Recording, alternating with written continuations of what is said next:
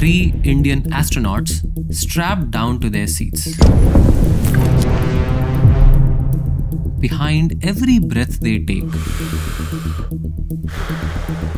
are the hopes of a billion people. This is the first time India is sending three of its own into space. The spacecraft that will carry them into space, it is not made by NASA or by Russia or by China. This is the Launch Vehicle Mark III or LVM3. It is entirely made in India by our very own ISRO or Indian Space Research Organization. Everything about this mission, including the rockets, the crew module, the orbital module, and even the flight suit, is made in India. In fact, this flight suit is designed by the National Institute of Fashion Technology, that is NIFT Bangalore. This mission is planned for 2027 and is called the Gaganyaan. But why is Gaganyaan special? Yes, it is grand. Yes, it is ambitious. But why?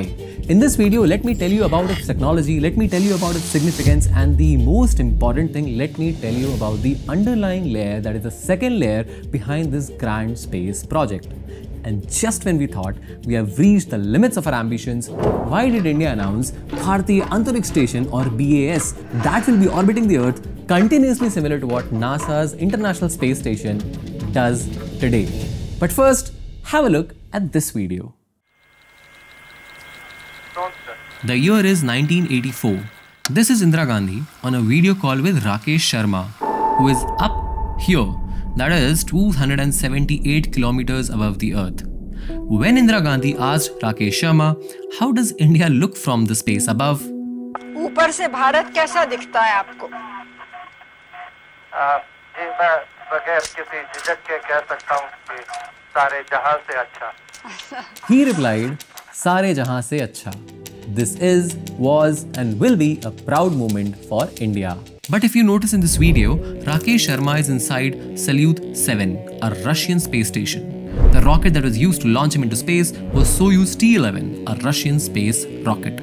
Till date, only three countries in the world, US, Russia and China have launched their own crewed spacecraft. Till date, these are the only three countries who have the capability to launch their own spacecraft into space piloted by their own crew without depending on any other country. But now we are set to join this elite group by launching our own Gaganyaan mission.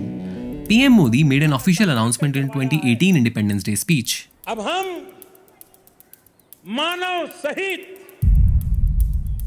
Gaganyaan लेकर के चलेंगे तब विश्व के अंदर हम चौथे देश बन जाएँगे जो मानव को अंतरिक्ष में पहुँचाने वाले बन जाएँगे Gaganyaan mission is special.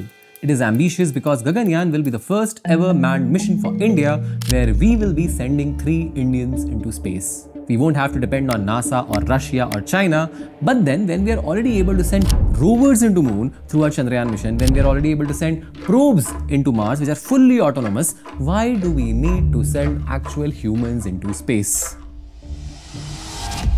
For the Gaganyaan mission, four Indian astronauts have been selected, also called the Gaganyatris. We have Shubhanshu Shukla, Prashant Nair, Ajit Krishnan, and Angad Pratap. Out of these four astronauts, Shubhanshu Shukla is the one who has also recently went to International Space Station, that is ISS, which is up here, 500 kilometers above the Earth, as part of NASA Axiom Mission 4. The experience he is gathering as part of the mission will become super important when he leads this group of Gaganyatris in 2027. Even though these four astronauts are selected for the Gaganyaan mission, in reality only three will go up in space while one of them will act as a backup. Launching our own space mission has a lot of moving parts. Lots of people are working at different things to ensure project remains on track. Now you can relate to this, especially if you're someone who manages teams, multiple clients, or multiple deadlines. It gets messy. I mean, coordination goes for a toss, but you can find order in this chaos. Allow me to introduce Odoo Projects. Odoo is an all-in-one business management software that helps you integrate and automate your business workflow. And with Odoo Project, you can collaborate and coordinate effortlessly. You can assign tasks, set clear milestones for your project, track deadlines, and see everything clearly on a simple dashboard. It has advanced views like Kanban view which shows each task as a sticky note with key details along it along with different stages to track progress of a task. Then it has the famous Gantt chart to ensure task dependencies are clearly laid out in a visual manner, ensuring you always have a bird's eye view on where your project stands. Inside each task, you can set subtasks, deadlines, schedule to-dos, book calls, meetings, send emails, drop notes, log meeting notes, everything on a single place. Basically, total control of your project. The best part is your first app on Odoo is free for life. This means full unrestricted access to Odoo projects with all the features without any limitations for free. Check out this QR code or click the link in the description to start using Odoo projects today. Thanks Odoo. Now let's come back to the story of Gaganyaan. Everything begins at the Satish Dhawan Space Center in Sriharikota, which is near Bangalore. The launch vehicle, LVM-3, India's heaviest rocket, comes into action. This is the same launch vehicle which is used in the Chandrayaan mission also. It is tried and tested, which is super important as this time it will carry real humans into space and not just robots and instruments. Therefore, the barrier of safety is much, much higher. Inside the spacecraft, there is a crew module and a service module. Crew module is where the astronauts will really live. The service module contains engines, solar panels, battery which will come into action once the Gaganyaan is in space and starts orbiting. Now the crew module itself is pretty amazing actually. It is about 3.1 meter at the base and 2.97 meters in height. Enough for 3 astronauts to live and work comfortably. It maintains Earth-like atmosphere and comes equipped with life support systems, temperature and pressure control systems, and other safety features. For instance, if there is an emergency, the astronauts need to escape using built-in systems. In 2023, ISRO successfully tested this crew escape system where the crew module was able to successfully detach from the rockets, deploy parachutes, and come down safely and land on water. In October 2025, we completed the integrated airdrop test the crew module was dropped from a height of 3 kilometers using our Indian Air Force plane. The crew module was able to successfully deploy various parachutes at the right height to ensure it landed safely on the water. All is done to ensure crew is safe because remember, we're talking about real humans here. Now, after the rocket is launched into space, after about 3 minutes, the orbital module separates from the rocket the speed it has, it automatically pushes it into this orbit of 400 kilometers above the Earth, where it flexes out its beautiful solar panels. Do you know how much time the spacecraft took from Earth to reach here? Just 16 minutes. Well, I guess Blinkit has a new competition. Here, it will orbit the Earth for 3 days, and therefore this is called the orbital phase. This is where all experiments will be conducted astronauts will grow superfoods like moong and methi in zero gravity. See, one caveat here is that there is no such thing as zero gravity. In space, gravity is very, very low. It's near zero, but it is not exactly zero. So, the correct term for space gravity is microgravity and not exactly zero gravity. So, if you hear microgravity, think of it as zero gravity for the purpose of this video. The idea of growing food in space is to study how microgravity affects seed germination, how microgravity affects plant growth. Can we in future grow some kind of space food which will help us do long-term missions to moon or Mars someday? There will be lots of experiments carried out. For example, how does microgravity affect muscle growth? How do human body tissues respond to microgravity? How does microbes and bacteria behave in space? See, here's the thing. Answers to all these questions can be obtained by these space missions. These answers, by the way, may also seem like a huge waste of time, huge waste of tax money. But this is because people generally don't understand the second order benefits. Take this gene for example, LRRK2. A small variation in this gene causes Parkinson's disease. So, if somehow you're able to inhibit growth of this LRRK2 gene, you can slow down Parkinson's. But to slow down Parkinson's, you need to know the exact structure of this gene.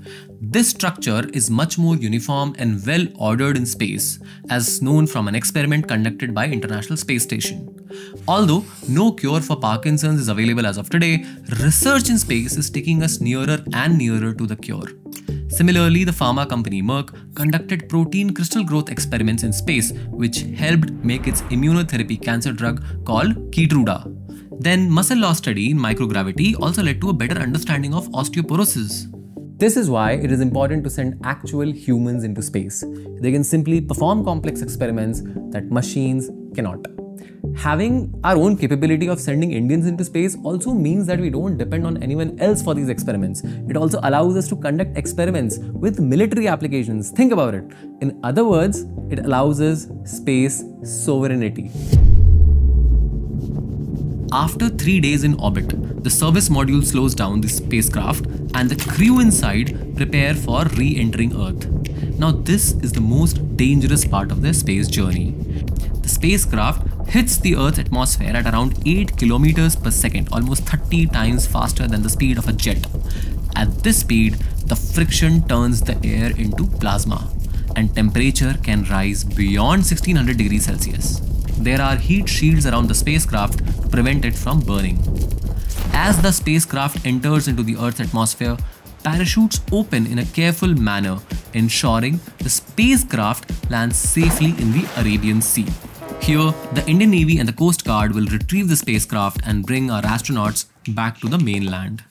Now that you understand the sensitivity of the mission, the dangers involved, safety is something that is obviously taken very seriously here. Before even sending out real Indians into space, we will be actually sending out a robot named Vyom Mitra in the same spacecraft.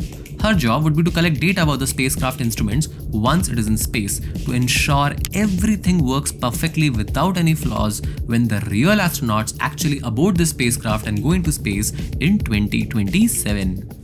Plans are also underway for our very own space station called the Bharatiya Antariksh Station or BAS to be commissioned in 2035. Now that will ensure we don't do just experiments in space, we can literally live in space. This allows for long-term experiments in space to happen. Is it expensive? Yes it is. The whole Gaganyaan mission would cost over 20,000 crores of public tax money.